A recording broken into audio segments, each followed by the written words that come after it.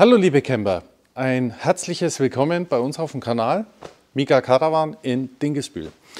Ähm, ich habe äh, heute ein kleines äh, Fertigstellungsvideo von unserem Karthago, ähm, wie wir es fertig gemacht haben, was wir da ja, habe ich ja gesagt, ich zeige euch das nochmal, wenn das Ganze fertig ist.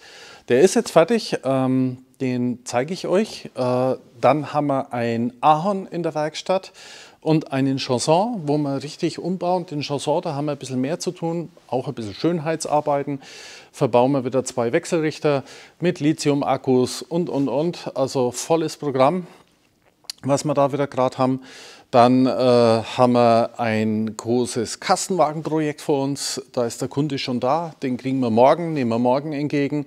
Der wird für nächste Woche drin sein. Also da geht es richtig zur Sache. Bei, ihr, bei uns hier passiert richtig was. Also da sind wir richtig, richtig glücklich drüber. Und äh, da können wir richtig was tun. Ihr seht schon, ich habe eine dicke Jacke an. Es ist echt kalt mittlerweile draußen. Äh, Gerade wenn man um die Uhrzeit dann nur draußen ist und schnell ein Video macht. Ähm, aber muss einfach sein. Und ähm, den Karthago, den habe ich eben schon rausgefahren heute Mittag, weil wir getestet haben, wie die Solaranlage geht. Und also da muss ich sagen, die Actifier, aber ihr äh, wird es dann gleich hören, echt top. Also gefällt mir richtig gut, was da runterkommt, macht richtig Spaß. Also ist echt eine tolle Sache. Und wie immer erinnere ich euch nochmals an unsere Spendenaktion. Nächste Woche setzen wir uns ins Auto und fahren am Samstag los, also sprich Freitag spät abends und fahren Richtung äh, Antal, Auental oder so wie das heißt. Und ähm, da treffen wir uns dann mit äh, ganz lieben Campern und ähm, werden unsere Spende übergeben. Also eine Woche habt ihr noch die Möglichkeit, hier richtig was zu tun. Und ähm, ich blende es euch noch mal ganz kurz ein. Hier seht ihr das und die Kontonummer ist natürlich auch dabei. Heute haben wir auch schon wieder ganz, ganz liebe Spender da gehabt, äh, die hier fleißig was reingeschmissen haben. Also richtig mega. Ganz lieben Dank dafür. Äh, wir sind da wirklich sehr, sehr dankbar dafür und ja, kann man sagen, warum seid ihr da so engagiert? Weil ich es halt einfach für wichtig finde. Ich denke, wenn mir so ein Schicksal ereilt, denke ich das auch immer toll, wenn es Menschen gibt, die dir helfen. Und auch ich erlebe es hier, dass uns immer wieder Menschen helfen in den verschiedensten Situationen. Und ähm, ist ein bisschen Karma, äh, gib was Gutes, bekommst du was Gutes. Und da müssen wir uns einfach engagieren. So, ich würde sagen, genug geschwafelt, ab in die Werkstatt und gucken, was da abging. Bis gleich. So, jetzt sehen wir hier die Solaranlage vom Karthago. Hier haben wir die 90 Watt, das 90 Watt Modul verbaut und auf der anderen Seite haben wir hier noch einmal ein 90 Watt Modul verbaut. Sehen wir hier. Und dann haben wir hier hinter der Klimaanlage noch mal eins verbaut und da vorne natürlich das 70 Watt Modul. Und also ich muss wirklich sagen, die Actifier, die sind richtig genial. Also was hier an Leistung runterkommt, ist schon echt geil. Also das macht richtig Spaß, da hat man richtig Power. Und äh, wir haben heute mal geschaut, obwohl hier die hintere Platte, ähm, die da hinten im Schatten war und die zwei Vordern haben aber gepowert aber es war halt ein bisschen bewölkt und die Sonne war nicht wirklich so hundertprozentig da. Also unsere Anlage hat äh, in dem Moment schon mal 7, 8 Ampere runtergeschossen. Und äh, die kleine Anlage, die, die hier, die hat, äh, ich müsste jetzt lügen, die war auch teilverschattet. Da kamen gerade mal, ich glaube, 0,5 Ampere. Ähm, müssten wir jetzt mal ausprobieren, wenn es dann richtig in der Sonne ist. Aber das Ding ist schon richtig gut. Und ich glaube, da hat der Kunde richtig Spaß. Und jetzt schauen wir noch mal ganz kurz ins Innere. So, so schaut es jetzt im Innenraum aus. Hier haben wir die zwei Lithium-Batterien dazu und also die zwei Super Bs in der Kombination mit den anderen zwei äh, im Elektrokasten. Da schauen wir gleich noch mal rein. Und hier haben wir unsere drei Solarregler äh, verbaut. Also der zeigt sogar jetzt hier 0,02 an. Es ist witzig, selbst jetzt kommt nur ein bisschen was. Ähm, und die haben wir hier verbaut mit hier den ganzen Bluetooth-Empfängern, alles schön sauber beschriftet. Ähm, wo wir dann dementsprechend alles verkabelt und angeschlossen haben. Wir haben das Fach genutzt, weil der Kunde gesagt hat, das braucht er sowieso nicht. Da haben wir das schön sauber äh, installieren können als Erweiterung, weil das ist ja nicht ganz so einfach. Man braucht halt ein bisschen Platz, die Geräte brauchen Platz. Und dann musste man natürlich hier unten die ganze Drittstufe hier auseinander machen, damit wir da alles schön reinkriegen und dann eben vor zum Elektrokasten legen. Und dann haben wir natürlich noch dazu hier unsere äh, Anzeige gemacht. Genau, halt, stopp, da wollte ich hin. Hier haben wir unsere Super B-Anzeige äh, dementsprechend verbaut, ähm, wo ich ja gesagt habe, das haben wir hierher platziert. Ähm, jetzt gehe ich mal ein bisschen weiter weg.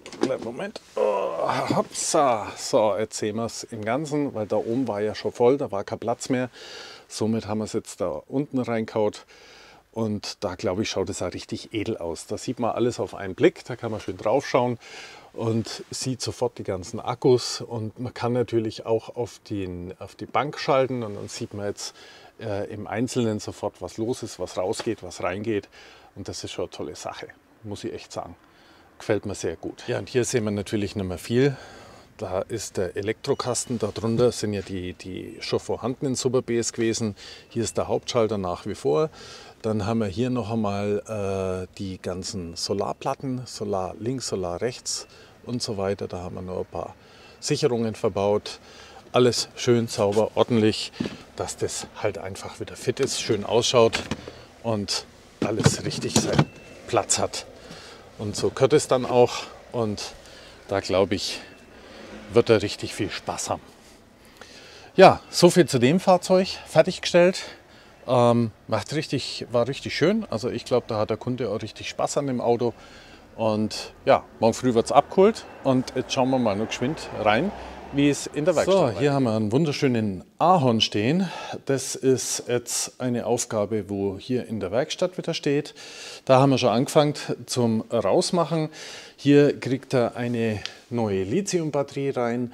Äh, hier müssen wir natürlich auch die ganzen Kabel hier anders machen, weil da habe ich auch schon wieder ein paar so spezielle Sachen gesehen, wo wir gesagt haben, Mensch, das müssen wir natürlich unbedingt ändern.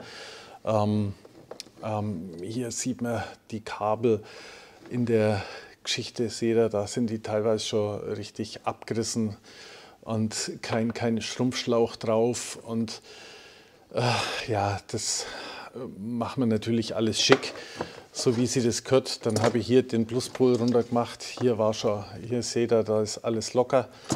Ähm, da sind die Kabel schon wieder locker. Das ist auch scheiße. Das müssen wir auch anders machen.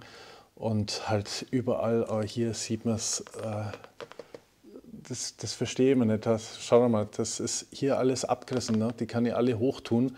Da sind die ganzen Litzen weg. Äh, ich weiß jetzt nicht, ich, das ist der Wahnsinn vom Quetschen oder Abisolieren. Ich habe keine Ahnung. Ich weiß nicht, warum man sowas macht äh, verliere ich ja einen ganz schönen großen, schauen wir mal, wie viel das das sind. Also äh, seht ihr das, wie viel das das hier sind? Also da verliere ich ja ganz schön vom Kabelquerschnitt. Ne? Also das, naja, egal, das müssen wir neu machen, das müssen wir dementsprechend anständig verbauen.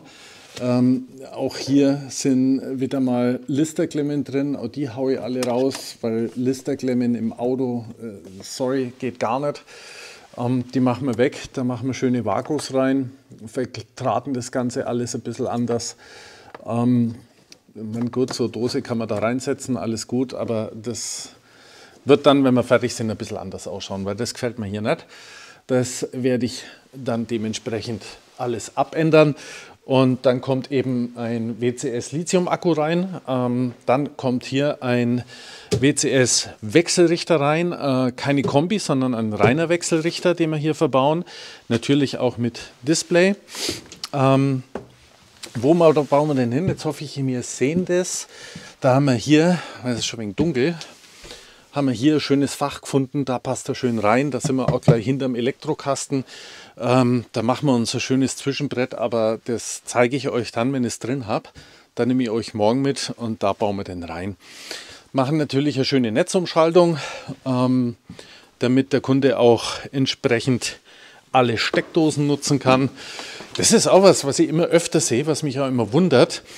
Dass Wechselrichter verbaut sind, wo nur eine Steckdose geht. Also das wundert mich. Also sowas finde ich nicht schön. Und ja, dann haben wir hier die Stecker rausgezogen. Hier wird mit Stecker gearbeitet. Das finde ich auch speziell. Da ist hier, ähm, seht ihr den Kasten? Da sind die ganzen Steckdosen drin. Ist hier ähm, der, der Anschluss für, für die Stromversorgung. Und dann steckt man halt einfach hier die Stecker in die Steckdose. Und das ist dann die Versorgung. Also einmal Kühlschrank und hier die Einspeisung. Also das finde ich auch schon ein bisschen abenteuerlich, aber abenteuerlicher finde ich halt wieder das hier. Wenn man das hier vorfindet, das ist dann schon alles serienmäßig, ist schon toll. Also als Elektriker schüttelt es da ein. Aber gut, kein Problem. Wir machen das dann alles ein bisschen schick und verklemmen das alles ein bisschen anständig und verbauen da eben den Wechselrichter. Der steht hier quer. Ähm, weil wir haben da hinten natürlich noch ein Auto stehen. Ähm, jetzt gehen wir hier mal rum. Genau. Hier steht nur Gerüst, weil dann machen wir wieder an die Lampen weiter. Und hier haben wir noch ein Chanson stehen. Den verbauen wir auch, oder den bauen wir natürlich auch gerade. Da haben wir auch ein bisschen was zu tun in dem Fahrzeug, weil auch dieses Fahrzeug bekommt einen Wechselrichter.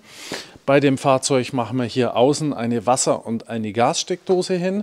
Bei dem Fahrzeug verbauen wir eine zweite Lithiumbatterie, eine Super B. Ähm, die sind hier unterm Sitz. Dann positionieren wir den Booster anders, weil der war hier nicht wirklich sichtbar. Ähm, Warum nehmen wir Super B? Weil der Kunde natürlich schon Super B hatte, äh, kann man natürlich nur mit Super B ergänzen. Die war noch relativ neu. Ich habe die, die dazu kommt, auch relativ zeitig bestellt, sodass wir noch in dem Zyklus sind, dass man das tun kann. Äh, Super B sagt bis zum halben Jahr, äh, sprich da kein Problem dagegen und wir gucken jetzt einmal, wie das dann auch funktioniert. Aber haben wir ja bei dem Karthago, wo wir gerade gesehen haben, auch gemacht. Der hatte ja auch schon zwei Super B haben noch mal zwei dazu gemacht. Wenn man das im richtigen Zeitrahmen macht, dann driften die auch nicht so weit auseinander und dann funktioniert das eigentlich auch ganz gut. Und das gleiche machen wir jetzt hier. Ähm, wichtig halt auch wieder aufpassen, Kabelquerschnitte und bla bla bla, haben wir ja schon alles gehabt. Und ähm, dann haben wir hier gleich dahinter in dem Fach, genau, auch hier, da bauen wir jetzt auch wieder den Wechselrichter rein, mit Netzumschaltung natürlich. Und der wird hier drin sauber verbaut. Aber ja, ich weiß, ist ein geschlossenes Fach. Natürlich geben wir den Wechselrichter viel Luft, indem wir hier komplett aufmachen, wo dann dementsprechend hier die Lüfter hinkommen. Und äh, da wird dann ein sauberes Lüftungsgitter eingesetzt. Ähm, oder wir lassen uns noch irgendwas Spezielles einfallen, sodass jedenfalls der, der richtig schön luftgericht und richtig atmen kann, damit die Leistung da nicht äh, beeinträchtigt ist und das, das, das, Gerät dann abschaltet, welche Überhitzung oder so weiter.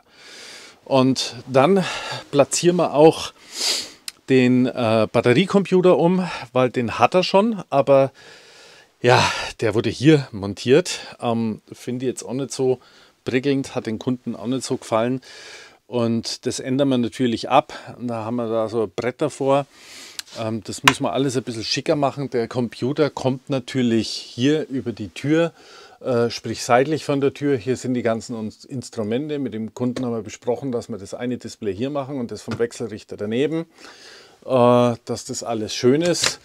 Und dann haben wir noch besprochen, dass wir den einen Ruder da oben nach außen setzen. Der gehört dann da oben hin. Das werden wir auch noch umsetzen. Und damit das alles wieder besser zu bedienen ist, hat er gesagt. Das gefällt mir. Gefällt mir dann einfach ein Stück weit besser. Ist auch dann schöner, also das schaut auch wieder schöner aus. Also ja, hier haben wir damit dann auch schon ganz schön viel zu tun. Außendusche und ja, da haben wir dann auch richtig Action. Der wird aber auch, sage ich jetzt einmal grob, Mitte der Woche, nächste Woche muss er fertig sein. Weil dann starten wir schon das nächste Großprojekt. Ähm, da kriegen wir dann einen Kastenwagen rein, der kriegt richtig, richtig viel. Unter anderem haben wir äh, dann noch einmal ein äh, PLA drüben stehen, da müssen wir ein paar Kleinigkeiten machen dazu. Ja, und so haben wir unsere Woche wieder ganz schön voll. Und ihr seht, ähm, Wir haben hier immer zwei Stellplätze. Um, wenn es mal kleinere Fahrzeuge sind, auch drei. Kastenwegen passen auf alle Fälle drei rein. Und da arbeiten wir dann immer in zwei Teams. Und ja, dass da was vorwärts geht. Und die Woche hat ein Kollege Urlaub gehabt. Und ja, so ist es. Aber nichtsdestotrotz sind wir gut dabei. Und äh, das Auto werde ich morgen machen. Und da mache ich dann auch nochmal ein kleines Video drüber und nehme euch natürlich wieder mit. Das haben wir wieder alles gemacht in der Werkstatt. Ich finde alles top. Der Carthago ist richtig gut, also äh, tolle Sache, vor allen Dingen der Solarertrag, was jetzt durch die neuen Platten, zusätzlichen Platten darunter kommt. Ich glaube, da wird der Kunde richtig Spaß haben. Also das äh, haben wir gut ausgerechnet, das funktioniert richtig gut. Und ähm, ich glaube auch, dass das echt zu der Autarkie eine ganze Menge dazu bringt. Dann haben wir natürlich hinten den Ahorn und den Chanson, wo jeweils ein Wechselrichter kriegt und äh, der eine, der Ahorn, kriegt ja einen WCS-Lithium-Akku. Ja, das, äh, warum bin ich so äh, auf WCS-Geräte? Ich muss immer wieder sagen, äh, diese WCS-Geräte von, äh, vom Götz sind einfach brachial gut und ist wirklich aller, allerbeste. Und äh, da muss ich einfach sagen, da gibt es in Deutschland keinen zweiten Hersteller, der das so tut, ist die Serviceleistung. Die Serviceleistung heißt, ich habe fünf Jahre Garantie, aber nicht nur fünf Jahre Garantie, sondern eine fünf Jahre lange Austauschgarantie. Das heißt, wenn dieses Gerät, Solarregler, Ladebooster, Wechselrichter, einen Defekt hat, einen Fehler hat, kommt ihr hierher zu mir, ich baue euch das Ganze aus, baue euch das neue Gerät ein und ihr fahrt am selben Tag wieder vom Hof. Natürlich auch inbegriffen der Lithium-Akkus. Das ist eben das Schöne an diesen Geräten. Ich kann einen Service bieten, den ich mit keinem anderen Hersteller bieten kann. Und äh, da kann kein Entschuldigung, äh, ist egal welchen Hersteller, ich nenne jetzt wirklich keine Namen, äh, ob das die blauen Geräte sind, ob das die silbernen Geräte sind, ob das die, es ist wurscht. Äh, die haben zwar auch fünf Jahre Garantie, ja, das stimmt, aber das ist eine andere Fünf-Jahres-Garantie. Die fünf Jahre Garantie erstrecken sich über Ausbauen, Einschicken. Und aktuell, wenn man einschickt, leider Gottes, äh, teilweise bis zu vier, sechs, acht, zehn Wochen, bis man das Gerät wieder zurückbekommt. Und das ist eben leider der Mist. Das ist kein Service. Ich verstehe unter fünf Jahre Garantie was anderes, weil das Problem ist ja, bei den meisten Wohnmobilisten taucht das Problem dann auf, wenn das Fahrzeug hergerichtet wird und ich in Urlaub fahren will. Ja, was habe ich dann? Die Kacke am Dampfen. Entschuldigung. Denn wenn ich da feststelle, der Booster geht nicht, der Akku geht nicht äh, oder der Solarregler haut nicht hin oder was auch immer, dann habe ich ein echtes Problem, weil wenn ich dann zum Händler fahre oder in die Werkstatt fahre, lasse das Teil ausbauen, weil ja fünf Jahre Garantie, der sagt mir aber dann brühwarm, ja du, ich schicke dir das jetzt mal ein und äh, mir egal, wo du hinfährst, äh, fahr mal, ich wünsche dir viel Spaß, aber der Wechselrichter oder der Solarregler, das bleibt mal hier. Äh, kann dir unter Umständen einen ganzen Urlaub wegdonnern, weil man weiß ja nicht, welchen Urlaub das man plant hat. Wenn ich autark stehen will und das und das Gerät brauche, geht nicht. Und das ist halt einfach das Tolle bei den WCS-Geräten. Und darum äh, bin ich da eben so hartnäckig. Und nein, ich bin kein Verwandter von Götz und ich bin kein Bezahlter von Götz und ich bin kein irgendwas von Götz, sondern ich bin einfach nur kunden- und serviceorientiert. Und da muss ich wirklich sagen, äh, das ist eben einfach der Hammer, was die Firma WCS da aufgestellt hat. In der Kategorie diesen Service zu bieten, ist einmalig. Und äh, jetzt geht es gar nicht um die Technik der Geräte, die finde ich auch einmalig ist, aber das lassen wir jetzt einfach mal zweitrangig. Heute geht es mir wirklich nur mal um die alleinige Serviceleistung. Und äh, wir sind ein Kleinbetrieb. Ich habe zwei Reparaturwerkstätten, äh, zwei äh, Plätze für zwei äh, Reparaturautos bzw. Umrüstfahrzeuge. Ich habe ähm, einen kleinen Laden, wir sind nicht groß, wir machen keine Millionen Umsatz. Äh, ich lebe von Stammkunden und von zufriedenen Kunden und das ist alles, was ich kann. Also, und ich lebe nicht von der Laufkundschaft. Und darum ist es wirklich wichtig, dass wir jeden einzelnen Kunden hier gut bedienen, so gut wie es nur geht und versuchen, glücklich zu machen und eben den bestmöglichsten Service bieten. Und das kann ich eben nur mit so einer Firma, die den Background bietet und den Hintergrund mir gibt, dass ich diesen Service bieten kann. Und davon bin ich einfach mega überzeugt. Ähm, ja, und so machen wir auch nächste Woche weiter. Nächste Woche haben wir einen Kastenwagen, ein tolles Projekt, aber ich laber schon wieder viel zu viel. Ähm, ich will euch nicht langweilen. Ähm, wir schauen uns das einfach nächste Woche miteinander an und da freue ich mich schon wieder richtig drauf. Und äh, ihr habt am Anfang gehört, oh, ich gehe nochmal hin, ich äh, erinnere nochmal an Zip Flutabfahrt. Ähm, eine Woche läuft die ganze Sache noch. Ich blende die Kontonummer mit ein. Und dann könnt ihr, wenn ihr wollt, noch mal ein bisschen nachlegen. Ich freue mich unwahrscheinlich drüber. Und ähm, ja, in dem Sinn freue ich mich über eure Kommentare, was ihr über den Service denkt. Ich freue mich über ein Like, über einen Daumen nach hoch, genauso wie über ein Abo. Und äh, ich sage ganz lieben Dank. Ein wunderschönes Wochenende für euch. Bleibt gesund. Bis bald. Grüße aus Dingesbühl. Ciao, ciao.